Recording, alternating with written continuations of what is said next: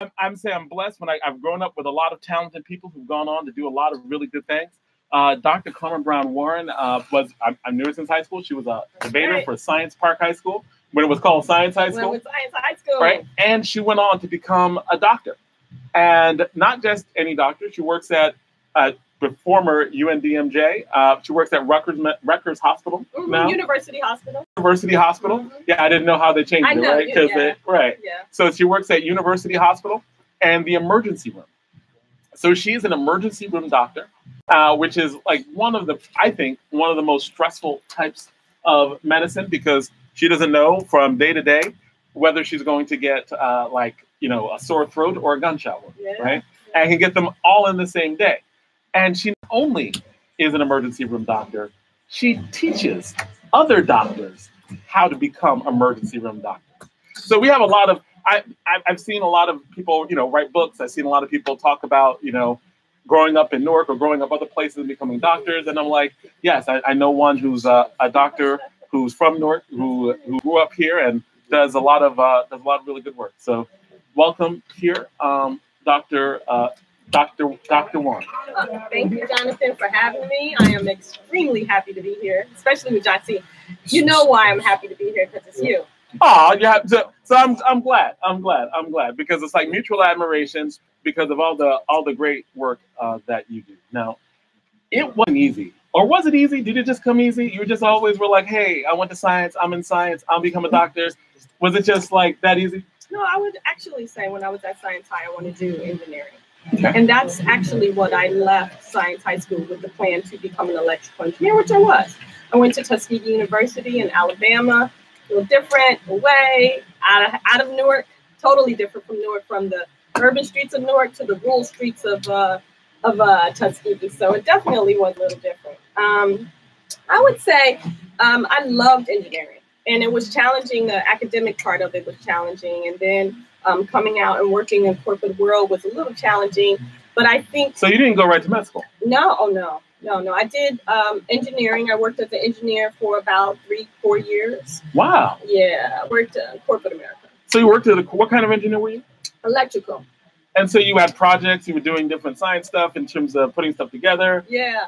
So um, when I first came out, I worked for Xerox in Rochester, New York, and it was like a managerial program which we rotated in all the different areas of Xerox just to understand the company and the business. And then I, I guess the last time or the last rotation I did was manufacturing. So I was part of the plant floor in which they built the actual copy machines. And then from there, I decided, you know what, I can't, I can't live up here in Rochester, New York. I was like, it's just, it's just not the place for a 22 year old just graduated from college, not married, no kids. So it's just family town. It's a great town. So I moved to Michigan, where I had family, and I started working for Xerox and at the V8 engine plant Oh, in, there- Michigan. in Michigan. Okay. And I worked in uh, So Flint. V8 engines.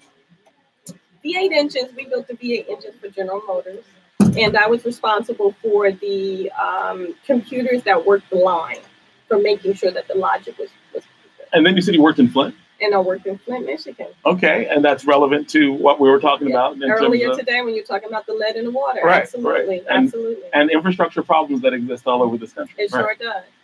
But Flint, Flint reminded me of Newark. It wasn't much different. in terms of a, an, an industrial city, Industrial city, environment, the poverty, it was pretty much like Newark. So what made you move from there? Well, I felt like engineering was not for me. My calling was to work with people. I love people. And so um, from med school, I decided, I mean, from undergraduate school, I had already decided I wanted to go to um, medical school. But I didn't want to be a professional student forever. Oh wow! So in other words, you already knew you wanted to go to med school, but you just worked first. So I just worked for And I think that's good for people to know, right? Like Yeah. you don't just uh, like you you although you were pre med, you were an engineering major. Mhm. Um, I was never pre med in college. oh wait, so you were only engineering. so you were only engineering. So when I got out, I had to take the courses required to get into med school. So oh, this is great because a lot of people think that if you don't decide to become a doctor early, then you won't be able to become a doctor. Absolutely not. And one of the things I tell people all the time, you don't have to major in biomedical, this, that, and to become a physician. You just need to take the required courses so you can do well on the MCAT because you're going to get all the courses in med school. Hmm. And so engineering, I wasn't a biomedical engineer, I was electrical, which was totally different. Um, and I just took whatever courses I needed once I graduated. So once you graduated, you took additional courses. So you took biology, physics. I took biology. I had all the physics already because I took one, two, and three in undergrad. But I had to take biochemistry, biology one and two, organic chemistry, organic chemistry one and two, all the required courses to do well on the MCAT. And so you, so you're you are you doing that at the same time you're working? I'm doing that at the same time I'm working. I'm doing that at nighttime at University of Michigan. Wow. So you were so you were just taking one-off courses basically to prepare for the MCATs. What are the MCATs for so people who might not know? MCATs are um, a standardized test, which actually, no matter what profession you're in, a standardized testing never goes away, mm. right? So the MCAT is an actual standardized test that requires you to do well so they can see that you can handle the rigor of a medical school environment. Okay. And so you go to med, so tell me about that. Like you apply to med school. Mm-hmm. What are some of the things that you would tell the audience about applying to med school? So I would say, uh, first of all, let me just say, it is challenging when you're taking those um, courses to get into med school. Um, and so I think for the first time in my life, I realized that you know studying for med school and studying the biology is a little bit different than electrical engineering. So you must have to have you have to have your mindset ready for what you're about to embark when you get into med school. So when I applied to med school, I applied to all different everywhere. No anyone that would take me. And I decided that I wanted to come back to New Jersey. And so when I um, was accepted into Rutgers Medical School, I came all the way back to New Jersey because I was in Michigan at the time. And I decided, mm, yep, this is it for me. This is where I'm going to go. And so I decided to attend Robert Wood Johnson Medical School. And it was totally okay. different, totally different. So talk, talk about the medical school experience. Um, some people say medical school is so incredibly difficult. Uh, so many people are discouraged. They don't think they would be able to become a doctor. What was your experience like? Like, you was it is it because you were naturally good at math? Is it just because, or not naturally good at the sciences? Did you have to work really hard? Is it both? Uh, what was the experience like? You know, it's when people say medical school is hard, I, I agree. And and it's hard because it requires a lot of effort, a lot of study time. So when you think about when you're an undergraduate, you probably have like this amount of information to learn. Um, we learned that amount of information in the first three or four weeks. So the amount of information for a class is this amount. So I would say when I first started medical school, uh, it was very challenging. So in other words, what you're saying is that the amount of information that you have to know in a semester, you have to know in the first two. Oh yeah. Oh, wow. absolutely. I remember taking biochem thinking, oh, I took biochem, this should be good. Yeah. Everything I learned in undergrad was the first two weeks in um, medical school. Wow. Literally. So I would say it's challenging in that sense, right? You have to learn how to study. It's about memorization. And that's one of the things with engineering. Engineering is not necessarily memorization. Engineering is deriving, understanding, and so that and once you master understanding that it's just memorization, trying to get through that amount of information, that's the challenging part of that. So med school is you have to like become one with the Google. Yeah. Right? As in you have to become Google yourself. You are on that medical it's information. So much information. I tell you, that's that's probably the most challenging part, the amount of information. Not the information itself. I think it's the amount.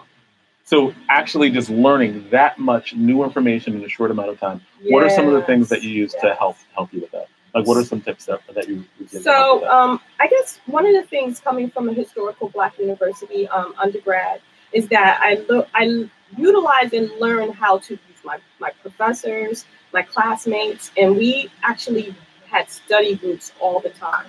I mean, I study seven days a week probably in med school. Everybody doesn't necessarily have to do that, but I did.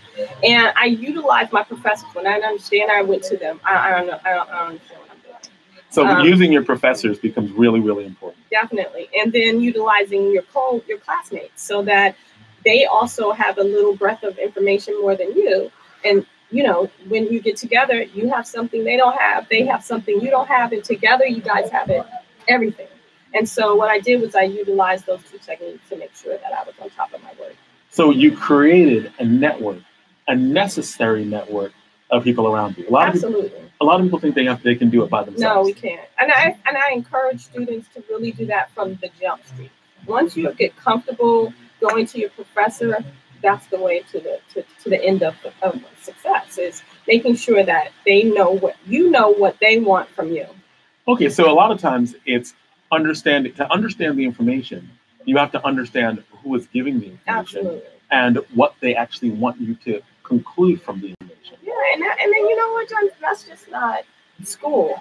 that's actually life, right? Mm. And that's a that's something that I think a lot of us need to understand. That it's not just from your professor; it's from your job, it's from your supervisor, it's uh, your relationships that you're in.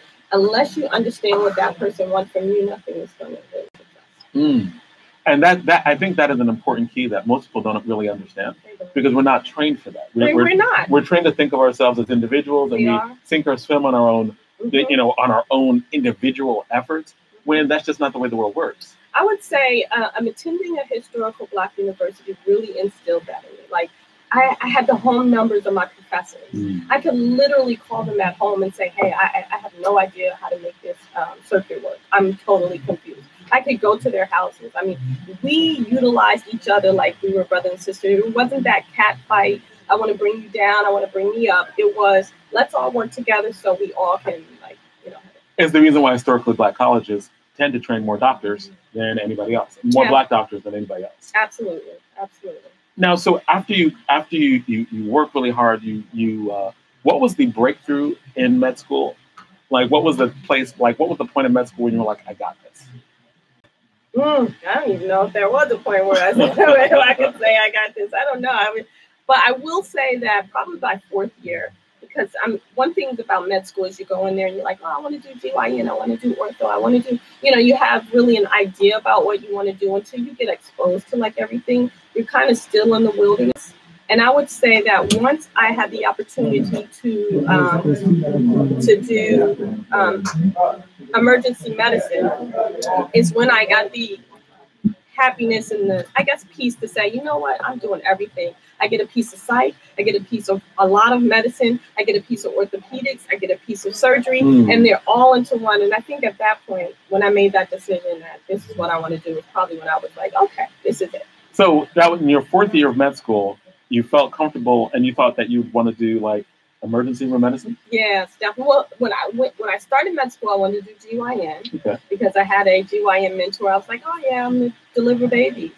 And then from then, I said I'm going to do orthopedics because I like the gadgetry and the sewing and the surgery. But um, or emergency medicine lets you do it all, and Okay. I think that's what really made me happy. So you're you are currently an emergency room doctor at University uh, Hospital in New Jersey, um, and that seems like it would be a a very and you've been doing this for many many years. Yes, Right. 15. Wow. Okay, so you've been doing this for 15 years, and you actually teach uh, emergency room doctors how to do it. Yeah, so so I mean, one of the things about um, Rutgers, and, and that's who employs me, is that um, we are academic medicine. So part of academic medicine is that we actually train residents, medical students, and get them ready so that you know they're able to be a specialist in their in whatever area they choose. So I have emergency medicine residents that are under me from four years. They are trained so they can become out come out and become great physicians in emergency medicine. Cool. So so you actually you're actually training the next generation of emergency Oh, room doctors. Yes, and I'm hoping that I'm training them to not just know the medicine, but to understand the patient. I think that's the key key thing and what we need to raise for our future generation positions. What are some of the most memorable moments that you've had as? Mm, like just you know like I mean you see so much. What are some of the things that like just a day in the life of a particular day that you remember? mm, mm. You're I like, would say, you know, that that's a that's a good question. that I get asked that all the time, and I say, I think, you know, when I leave, in order for me to function at, outside, I almost kind of block whatever happened, you know, during that day. Um, I that's going to be one of my other questions too. yeah, because, I, I yeah. have to. I don't even think I tell my husband half the time. I, I'm, I see so many people being from Newark. I see a lot of people that I know or that he knows, and I don't even remember to tell when I leave. Like, oh, I saw so and so. Like, it's it's just it's just so much. I think it's overload every day, and the only way to function is to kind of when I leave there to be like, done. I'm done. and so you actually erase the stuff I, that I mean, pretty much I do. But I would say that, hmm, I mean, I think in my early years, I was more affected um, by uh, those patients that you, you're talking to every day. Hey, I mean, that I have a conversation with. and by the end of my shift, I'm pronouncing them. Those those are probably the most memorable patients, and I attend like their funerals or their wakes. I try to go to. So those are the ones that probably make, make the most impression. Do you still do that now? Do you attend Yeah. the funerals and wakes the Not all of them, not as much as I did when I first started, but yeah, definitely try to. Yeah. Especially if I had a connection with like the family or um, with the patient. Um, I still cry. I still go out and to the wait ambulance bay, cry, suck it up, and then come back in and try to take care of the rest of the patients. You Mm. still have to have some sense of like humility and um, empathy for the patients that we take care of. Right, and, and and that's that that was going along with what I was going to ask about as well, because like, you know, as a as a teacher, uh, you know, you deal with the emotional stresses of kids, uh, you deal with certain their some of their certain traumas, and I know I'm seeing there are times when I'm self medicating in the bar, I know, right? Like I know. I'm like, you know, or at, at home with a nice exactly. Stash exactly. of tequila. I'm not really saying that on there, but yeah. the but in terms of there's emotional toll that that's taken and i always talk about self-care seeing a therapist doing getting massage right deep body tissue massage right Well, wellness is big. right especially in medicine. Emergency medicine carries one of the highest suicide rates amongst. No Oh yeah. what Amongst, amongst physicians, and the reason why is just- because of what we see and what we do every day. I mean, it's extremely stressful. I don't know what's coming through the door. I don't know what the next patient is. I don't know if I'm going to talk to you right now and then the next minute you're going to be unconscious. It's it's just very stressful every single day. So it's important and it's actually emphasized a lot for us to have a life outside of mm-hmm. medicine and to make sure that you are finding ways to release any of that stress because the buildup of it is not healthy.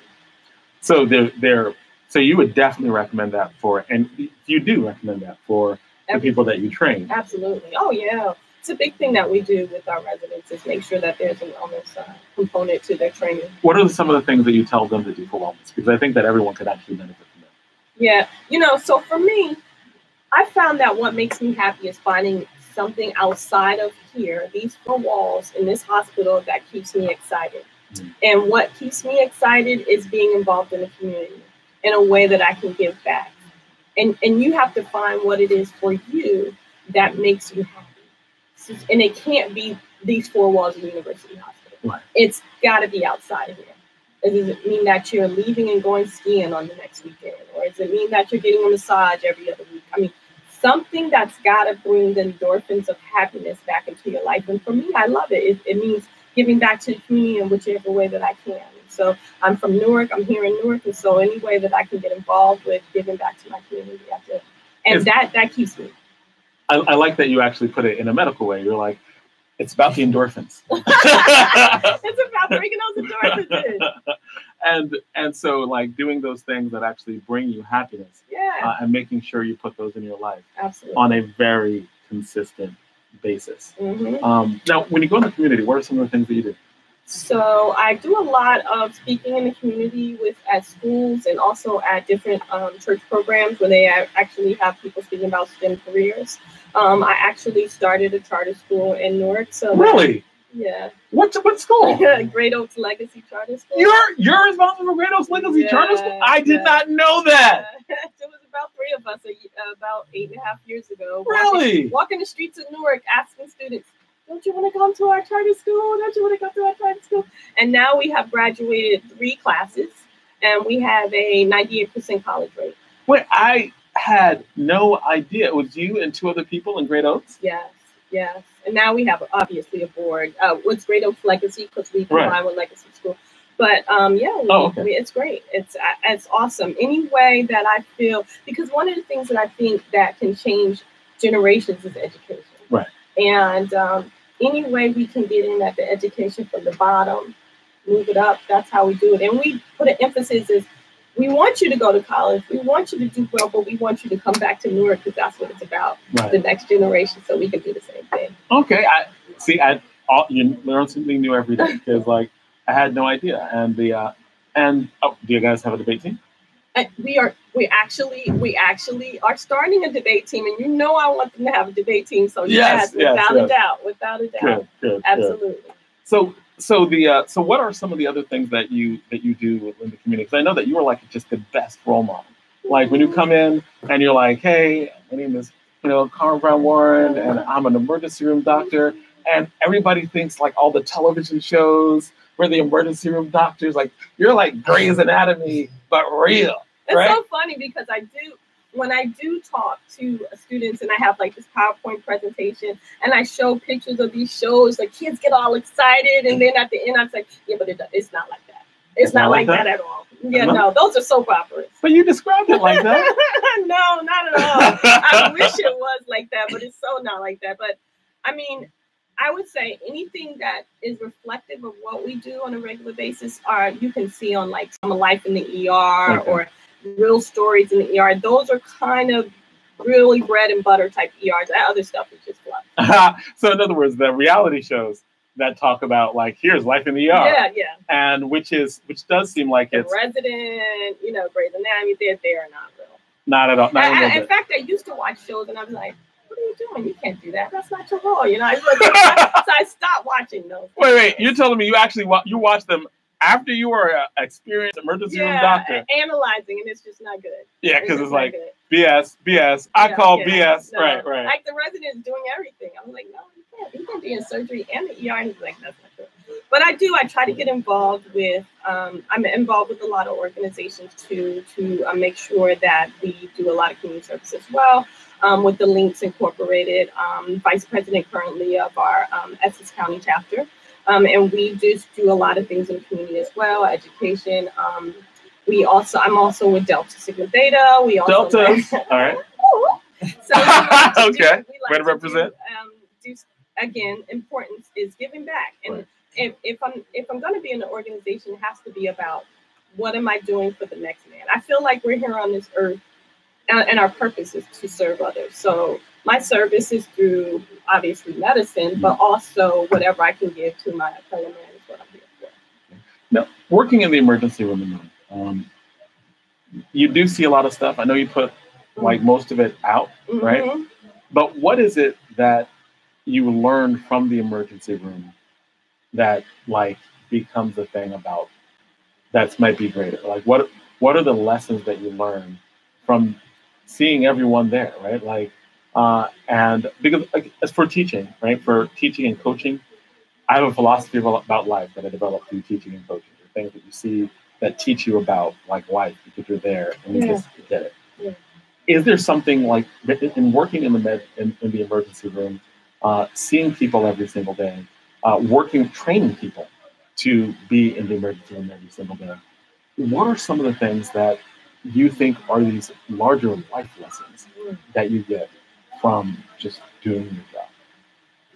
That's a good question. I think I would say um, what's been most influential in my life and in the job that I've done is meeting these new people every day that are at the worst point of their life and being able to handle the stress with those with those patients and um, being able to teach the new physicians how to handle that same stress right you're talking about a patient who can't see their doctor because they're working two jobs and the doctor's office closes at five o'clock and I can only come here and I wait nine hours in the waiting room or eight hours in the waiting room and then I finally see you and I'm angry.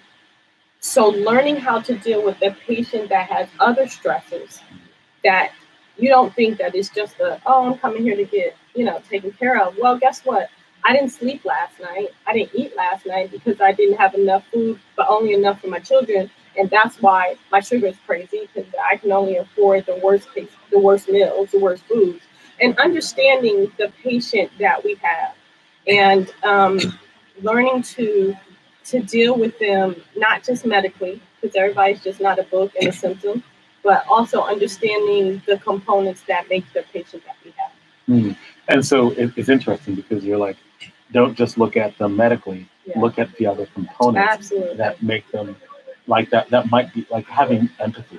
I mean, you have to. I mean, I think you can lose it because, like, say, for example, in our trauma, I see gunshot wound, gunshot wound, stab wound, assault constantly.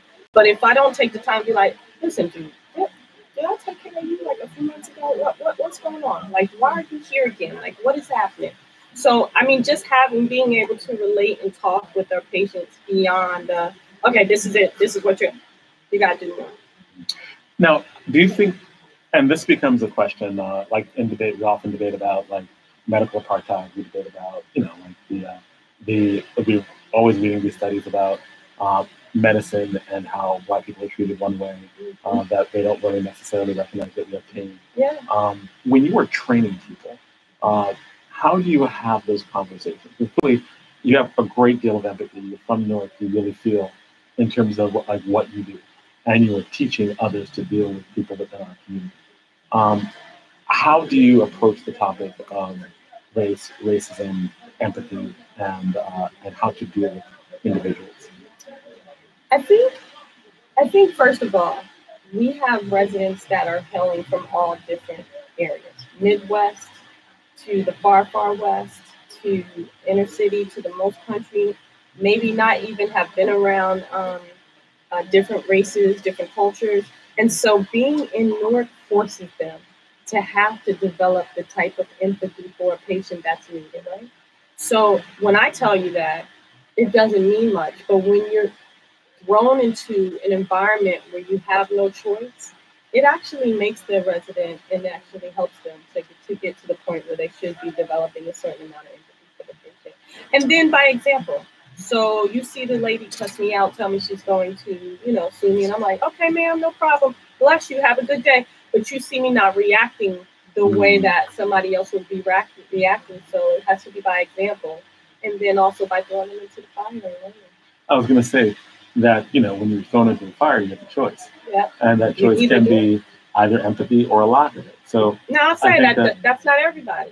Everybody can't do it. Right. You can't you can't teach it, right? It's either got to be in there and we pull it out, or you don't have it. And and um, I will say the percentage of residents that I see come through University Hospital very very small that don't have it. okay. You don't choose this career that puts you in an environment under stress, at patients at their worst, if you can't understand some empathy. Cool, and, and that's great to know, right? Like, Mhm. I think it's also important that the, the whole example thing, Yeah. because I think that if there, if there's someone else who has a different understanding of how to deal with patients, and they're leading, Yeah. right? I think that leadership means something. Uh, so it's one of those things where, like, thank you for showing and demonstrating such leadership uh, Gotcha. for us as well. You too. yeah, You. I know, but very different fields, very different Very fields. different of- fields, but um, I, I always say, you know, I think everybody is in their gift and their calling where they should be, right? And that's how you. That's why you excel. Mine is not better than yours. Yours is not better than mine. It's just different. fair, but there are certain life and death things that, like, I appreciate you doing what you're doing Thank you. because I know that there is there aren't many communities that are blessed to have someone like you, I thank like God. at the center. I thank God. So, well, well, we have we do have another question for you. We- We're, we're getting ready to wrap up, Okay. uh, but we do have a question that we ask everyone, and except for Jesse Jackson, we forgot. He was on twice. We forgot to ask him twice, uh, and that is, uh, who is your favorite hip hop artist, individual or group? uh, tribe, tribe called Quest. Tribe Called Quest. Yeah. All right, that's good. That's That's, all, good. that's on my that's on my playlist. And I was jamming when I first when you know when you first got hey, you know I was sa- singing a little bit back up in there with the everybody getting my little hip hop on. My husband's like, wait, relax, calm down. it's all right here at the jam. But You're like, I'm getting my endorphins Yes, on. yes. tribe, I would definitely say tribe. All right, cool. So thank you uh, so much. We'll have to have you back because there's a lot more that we want to have in terms of the discussions. Uh, and definitely, is again, appreciate the work that you do. Uh, always been wanting to try to get you up here for a while. I'm You have, but we you know what, Jonathan? I just have to say thank you. Jonathan was what two years ahead of me. I think so. I think so. and he was definitely uh, a role model, a leader. Um, I was I was definitely in debate, but I was still kind of you know pushed pushed by the streets a little bit. So I have to say that Jonathan has always kept the narrow straight and kept it for us and kept it kept it good. So thank you so much for you, Jonathan, and for all of those that were ahead of me, like you, that, that kept me where I was today. Well, thank you. Definitely, I love I love this guy. well, thank you. Very much appreciated. Very much appreciated. Mutual love, love, and love back. So, uh, got to have you back on here again. Thank you again. All right, so DJ Rhino, this is All Politics Are Local, America's number one, number one, number one political hip hop radio talk show. DJ Rhino, you do your thing, uh, and we'll be back uh, because the good Councilwoman Donna Williams is in Martha's Vineyard. And when she calls in, she's going to teach me something about Martha's Vineyard because I've never been. And I was like, You going to Martha's Vineyard? I don't know, man. I'm just, you know, I'm I'm from Newark and, you know, just uh, I'm just staying here and I'm just, I didn't even know you know, I didn't know about Jack and Jill until I was in college. no, I didn't know about Jack and Jill until I was in college either. So I do. Right. I do. Yeah. Right. Right. That's the Newark experience. We find out about that stuff in college, Yeah. right? And we're like, what's that? So Martha's Vineyard. I'm like, I, you know, I was like, yes. Martha's Vineyard is the black mecca for the month of August. If you ever get up to Martha's Vineyard, you have to go in August. That's August is where when black people go. all the black people. I mean, you can roam the whole island and there's nothing but black folks Nice, because because uh, really, it's, they were like, she's like, the Obamas are up here. Absolutely. She's like, like she was like, everybody who's somebody is up here. Everybody, who's, right. who, who, you don't even have to be somebody. Just You just need to know about Martha's go to Vineyard and get up and because there are all these conferences and people Yes, talking. oh, and and- they have a lot of political uh, workshops. They have a lot of uh, politicians that come up and speak, and they have little, um, I guess, coffee clutches for them as well. But it's also organizations. They have fundraisers. I mean, it's just constant. cool. So DJ Rhino, we're gonna be back.